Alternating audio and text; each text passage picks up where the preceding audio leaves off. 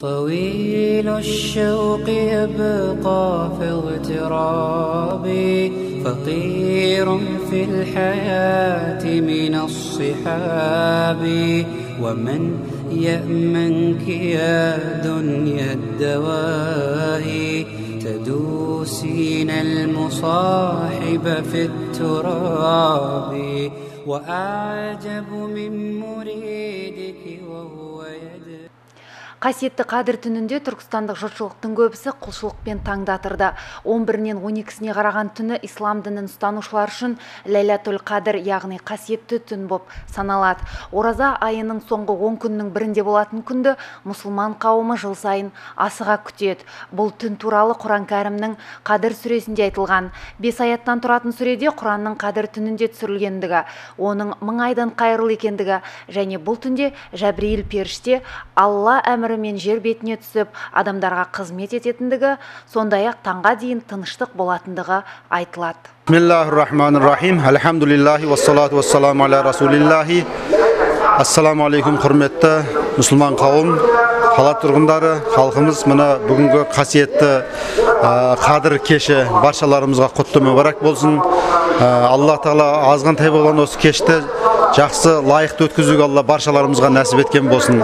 Міне бүгінгі күні осы қаламыз бойынша ә, бірнеше мешіттерде хатым құран болып және бірнеше мешіттерде ауызашарлар беріліп жатыр Ә, бүгінгі ә, өте белсенді халық болып жамағат болып белсенді түрде мына қадір түнін күтудеміз. Аллах тағала осы баршасын сауаптан жазған болсын. Бұл қадір кеші дұғалардың қабыл болған мың айдан артық болған яғни бани исраил қауымынан пайғамбарымыздың алдындағы бір пайғамбарлардың өмір жасы ұзақ болған ә, о бұрынғы бабаларымыздың уақытында мың ай жүріп тапқан құлшылықтың сауабын пайғамбарымыздың үмбеттеріне осы бір түнде нәсіп қылған екен алла тағала. Кім қадір түнін күткен болса сенің үмметің деп пайғамбарымыз айтқан екен сол қадір түнін күткенге мың айдан артық сауап жазсын деген екен.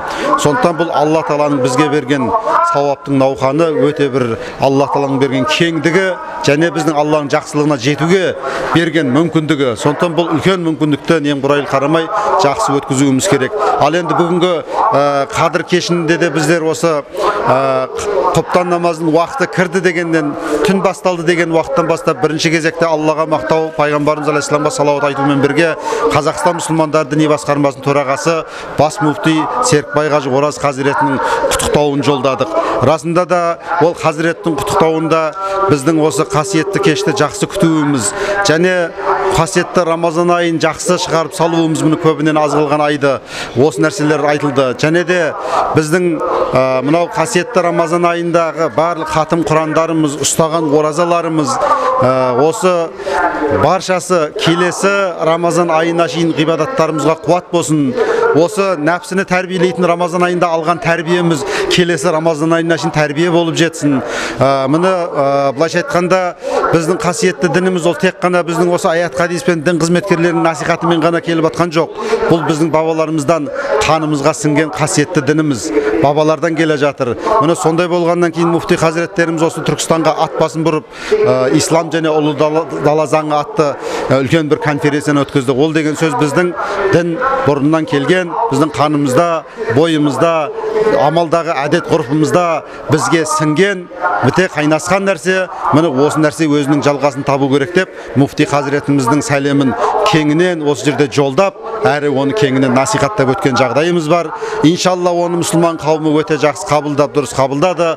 Аллах тағала осы ә, хазіретіміз сәлемінде айтқандай және де қасиетті түндің құранда дәріптелгеніндей құран түскен күннің құран түскен түннің құран түскен айдың ә, және де рамазан айының пайғамбарымыз саллаллаху алейхи хадисінде дәріптелгеніндей жақсы өткізуге аллах тағала баршаларымызға нәсіп еткен болсын. Алдымызда келе жатқан 15 маусым ә, айт намаздарына да алла тағала жақсы жетуге нәсіп еткен болсын.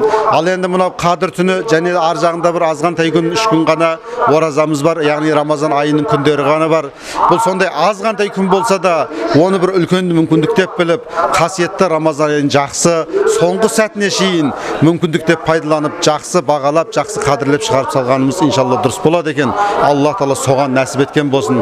Міне қаншама мешіттерде өтіп жатқан хатым дұғаларымыз жасалып жатқан ауызашар ихсандар сауабы көп болған зекеттер пітір фидиялар қайырымдылық пен ізгіліктер міне бүгін қаламызда.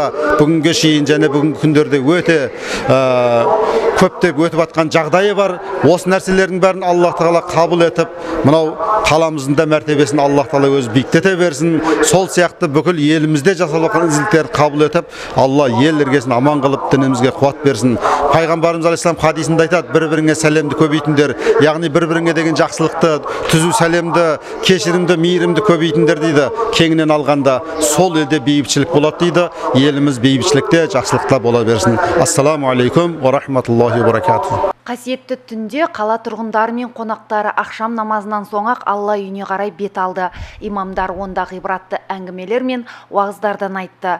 Қадір түні періштелер мұсылмандарға дұға оқып тілеулес болады. Жасалған ғибадаттың мың айға яғни 83 жылға тең болатындығына байланысты мұсылмандар қадір түнін құлшылықпен өткізуге тырысады.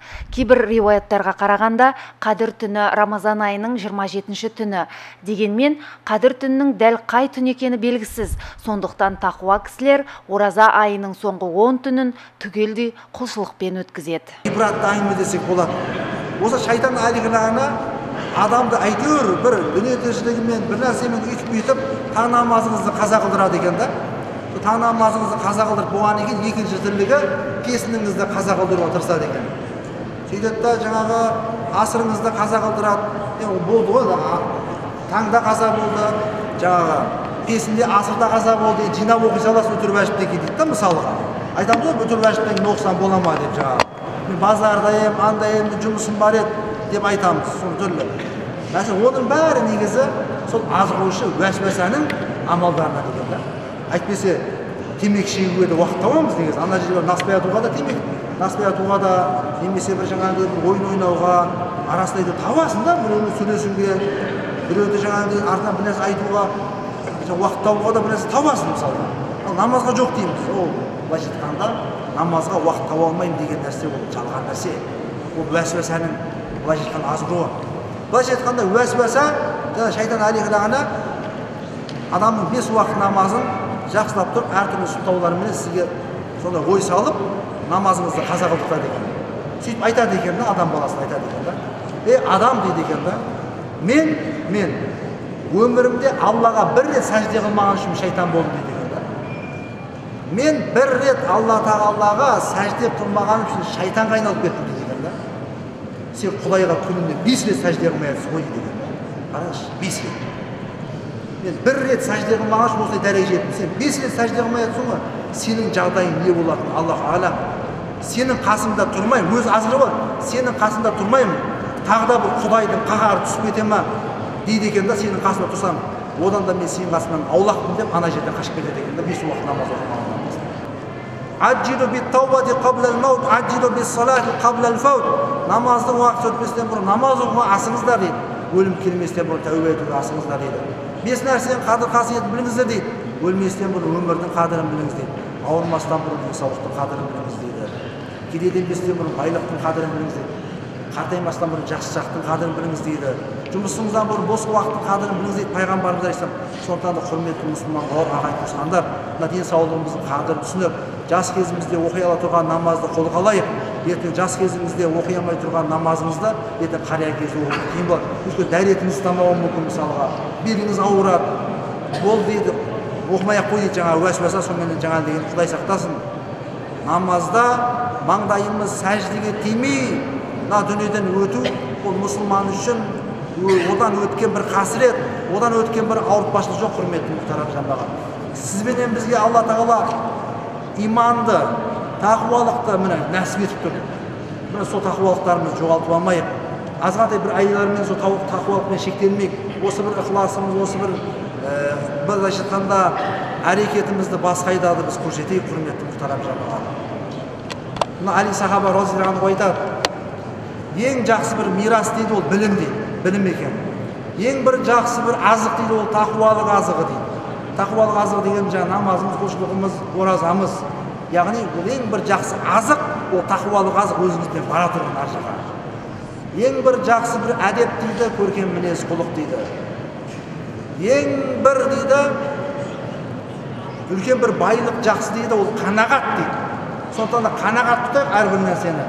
Сол қанағатымыздың жоқтығынан сол жаңағы қанағат рахымуллах қой дейді осы қанағат етпесек дүние дүние дей берсек жаңағы дүниені де шектен тыс мәселен оны істей беретін болсақ бір намазымыздан да құлшылығымызда да қалып сол сол шашымызда бір бетімізде сол әжім басып тек қана сол дүниенің тіршілігіменен я ағарып қатайып кетеміз құрметті жандар бір алла жолында бір қартайып алла жолында бір ауырып жатсаңыз жақсы да кішкене түсінесіз ба сондықтан да қанағат болу керек кішкене ол дүниенің соңына жетпейсіз оны істеуіңіз керек қадір түні бүкіл адамзатқа құран түсе бастаған ерекше қасиетті түн.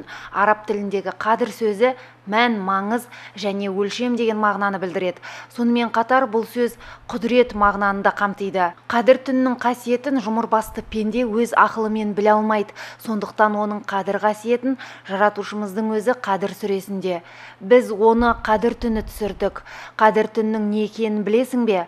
Аллах тағала білдірмесе қайдан білесің? Қадір түні мың айдан да артық. Ол түні аллахтың рұқсатымен кез келген іс үшін рух пен періштелер түседі әсіресе ол түнді ғибадатпен өткізгендер үшін таң атқанға дейін аллахтың рахымы мен есендігі жауады деп баяндайды. Сүйікті пайғамбарымыз саллаллаху алейхи уассалам аллах қадір түнін үмбетіме сый ретінде тарту етті. Бұл бұрынғы үмбеттерге берілмеген деп бұл сыйдың қадірін білуге шақырады. Тағы бір хадисінде кімде кім сауабын тек қана аллахтан күтіп ықыласпен сол түнді ғибадат жасаумен өткізсе күнәлары кешіріледі дейді. Сондықтан мүмкіндігінше әрбір пенде қадір түнінде берілетін сыйдан махрұм қалмауға тырысады. Ол түнді бос өткізбей дәрет алып екі бас болса да намаз оқып аллах тағаланың шексіз мейірімінен шын жүректен сұрап дұға еткен жөн.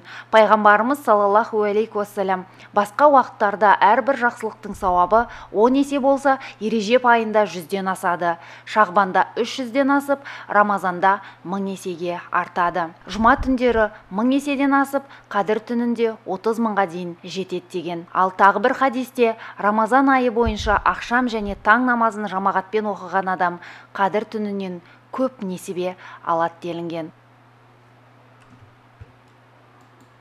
طويل الشوق يبقى في اغترابي فقير في الحياة من الصحاب ومن يأمنك يا دنيا الدوائي